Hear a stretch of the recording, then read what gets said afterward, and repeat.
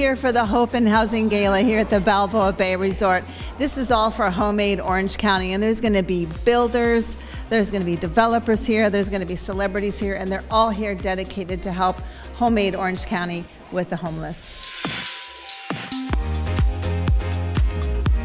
This is going to be an amazing night and help us build a future without homelessness. Yeah, so tell us a little bit more about the organization.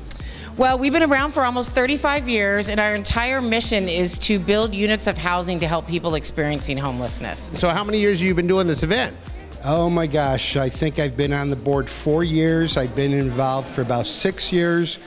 But my wife, Jean, who can't make it tonight, and myself are absolutely honored, blessed, and proud to be the presenting sponsor tonight. This is Kirsten Prosser, and you're here tonight to help. Support the charity, support homeless. Yes, it's a great. And yeah, we have plenty of it in Newport Beach. So we just wrapped our episode with Magnolia on capturing home. Um, just wrapped an episode also with Tarek on Flipping 101. And now we're here promoting a new show that we're going to be doing with HomeAid in conjunction with HomeAid about helping housing the homeless.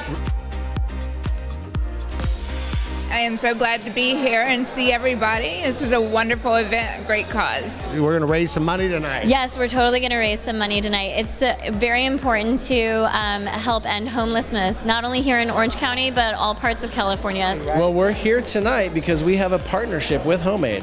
So we've created a television series around HomeAid that we're calling Second Chances, Welcome Home. Second Chances is about moving and emotional family stories and it's also about communities with life changing renovations. So, part of our video presentation this evening will be about the new series to showcase all the incredible work that's being done by HomeAid, but also to showcase the incredible families that are being affected and supported by their great work. In Orange County, last year, the point in time count stated that 6,500 humans were experiencing homelessness just in Orange County. And that number we believe is going up. We want to develop housing for those that can't develop housing for themselves. And that is the thing that fixes homelessness.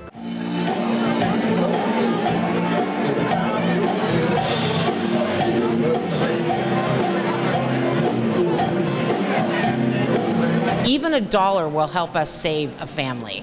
Our website is homeaidoc.org, and that's spelled H O M E, capital A I D O C dot O R G.